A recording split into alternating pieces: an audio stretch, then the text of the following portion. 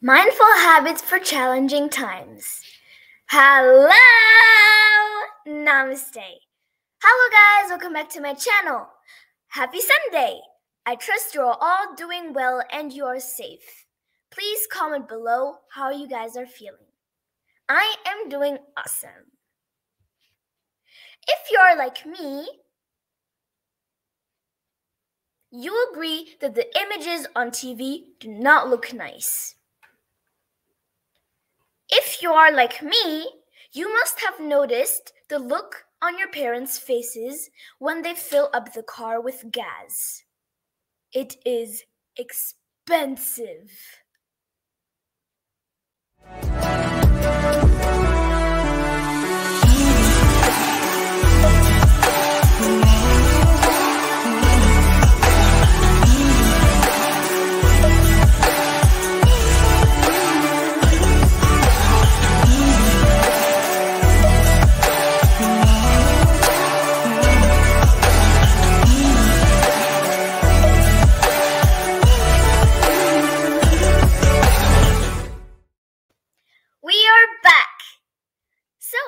Let's continue.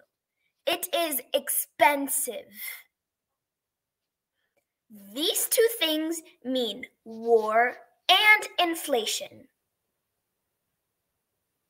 It looks like we are heading towards challenging times, even though COVID isn't over yet. So, what can we do to stay mindful during challenges, challenging times like this one? I have three tips, and let's start. Tip number one limit news and social media. So don't look at it too much. Tip number two cultivate mindful activities, which means you can do an activity that makes you calm to forget about something you do not like. For example, I like reading, drawing, doing meditation, going out for a hike, and those are some of them that you can do unless there are other ones that you like to do that just make you think about something else than this. And tip number three take action and reach out to someone. Just reach out to someone and see how they are doing. Just check on them. Let's read them again. Tip number one limit news and social media. Just don't look at it.